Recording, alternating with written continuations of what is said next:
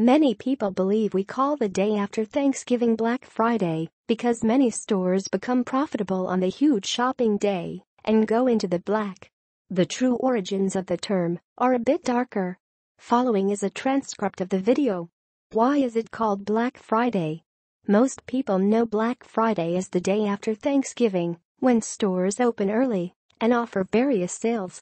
These stores are often in the black, profitable, that day. But the true story of Black Friday is darker.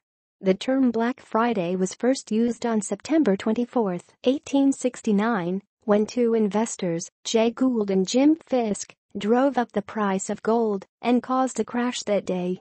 The stock market dropped 20% and foreign trade stopped. Farmers suffered a 50% dip in wheat and corn harvest value. In the 1950s, Philadelphia police used the Black Friday term to refer to the day between Thanksgiving and the Army-Navy game. Huge crowds of shoppers and tourists went to the city that Friday, and cops had to work long hours to cover the crowds and traffic.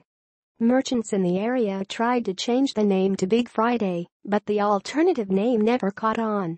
By the late 1980s, Black Friday had spread nationally with the more positive red to black backstory.